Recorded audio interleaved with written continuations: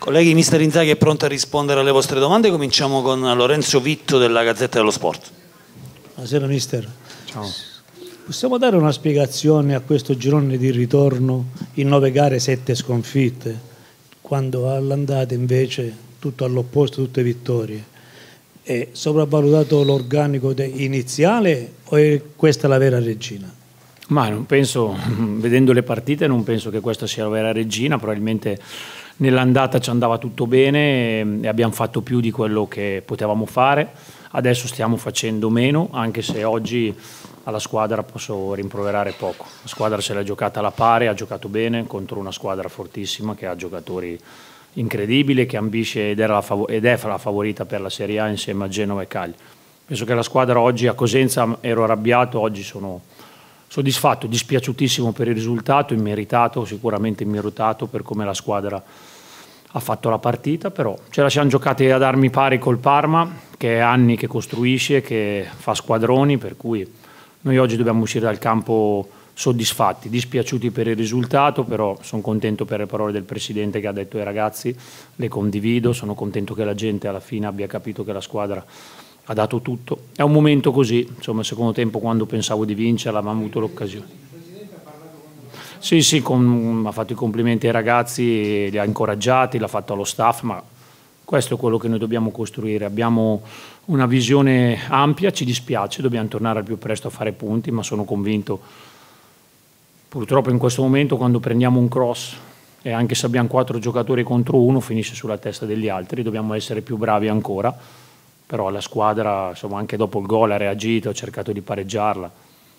Oggi veramente posso rimproverare poco, è chiaro che vogliamo tornare al più presto alla vittoria e speriamo di farlo alla prossima.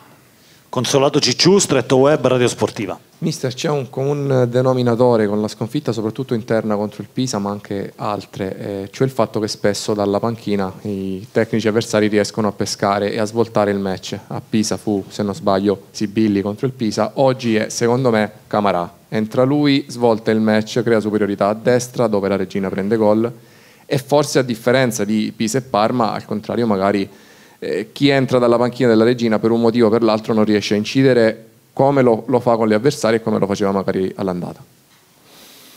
Ma è chiaro che lì, dovevamo, lì, eravamo due contro due, abbiamo lasciato Pierozzi da solo e lì è l'errore più grande. Al di là che poi la marcatura dentro l'area deve essere fatta meglio, eravamo nettamente in superiorità. Però adesso guardare quelli che entrano, quelli, mh, mm, rimbocchiamoci le maniche, lavoriamo cerchiamo di aver fiducia perché, come dicevo prima, contro una grande squadra ce la siamo giocata, per fortuna in classifica siamo lì, ce la possiamo giocare con tutti, è chiaro che ci dispiace per il risultato, vorremmo regalare una gioia ai nostri tifosi, però in questo momento dobbiamo compattarci ancora di più, cercare di vincere alla prossima, ecco, questo è l'obiettivo di oggi. Tonino Massara, FBA. Sì, mister, naturalmente oggi l'applauso finale dei tifosi stava a dimostrare che la squadra è piaciuta dal punto di vista caratteriale, ha lottato fino alla fine. Un esempio per tutti è stato sicuramente Menezze che ha rincorso fino al 95esimo l'avversario nella propria area, oltre ad aver giocato un'ottima partita. Eh, una domanda per il futuro, Galabinov che ha sporcato un sacco di palloni, quanto può tornare utile a questa squadra anche dal punto di vista dell'esperienza?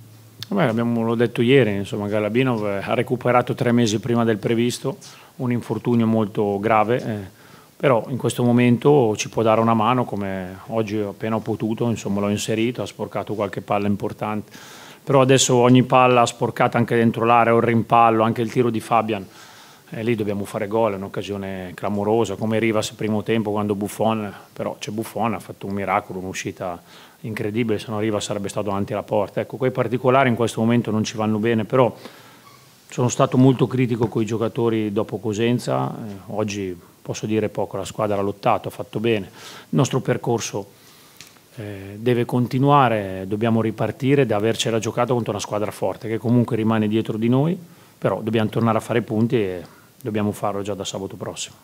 Giorgio Rovere, Piana TV. Mister, ehm, la mia impressione qualche giocatore è un po' fuori forma fisica. Voglio um, fare un po' una domanda specifica.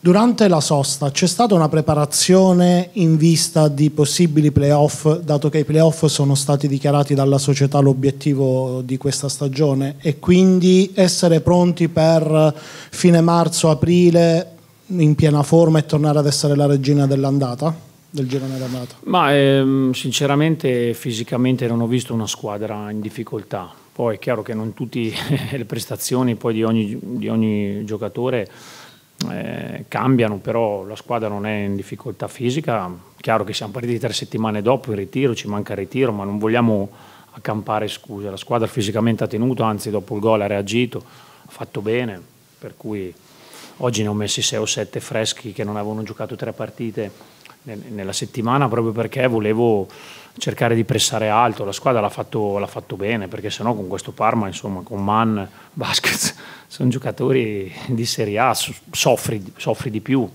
Noi abbiamo sofferto poco, dovevamo forse essere più letali con l'occasione di Rivas e con l'occasione di Fabian perché sono occasioni importanti, se vai in vantaggio probabilmente la vinci.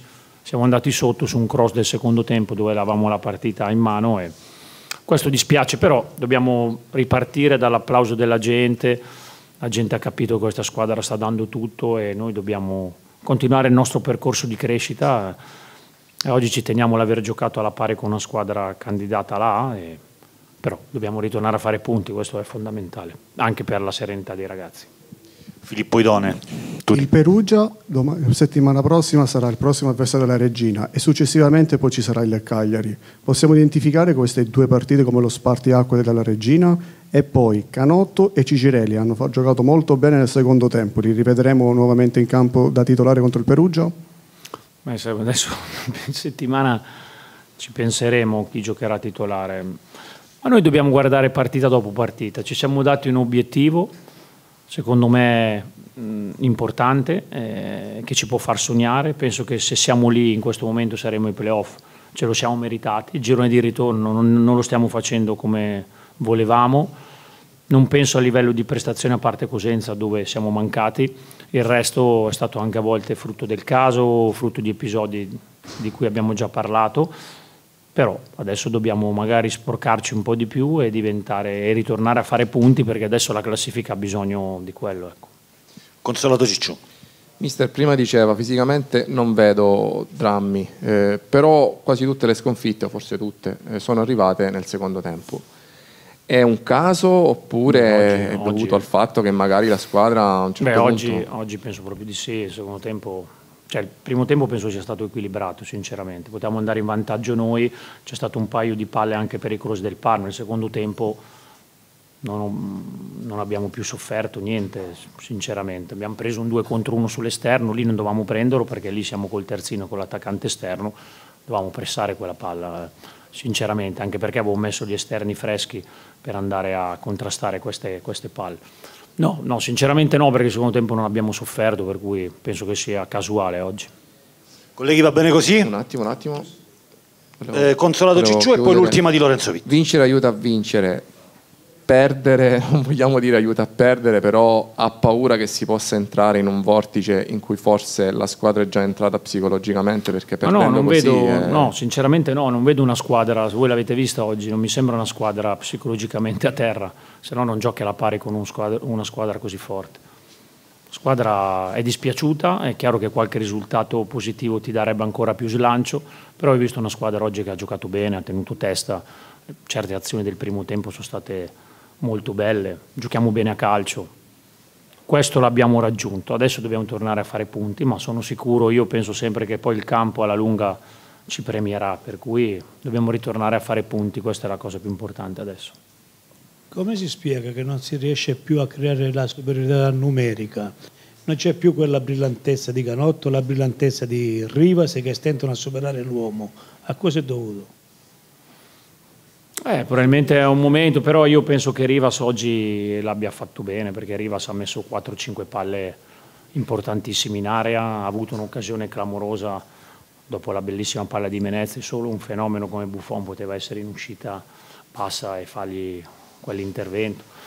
Per cui gli esterni sinceramente Menezza ha rincorso fino al novantesimo qualsiasi avversario, anche in difesa.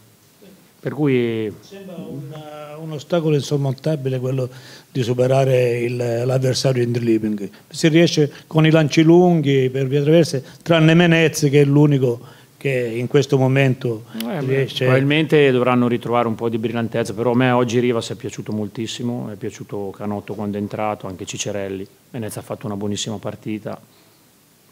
Andiamo avanti. Grazie. Ciao.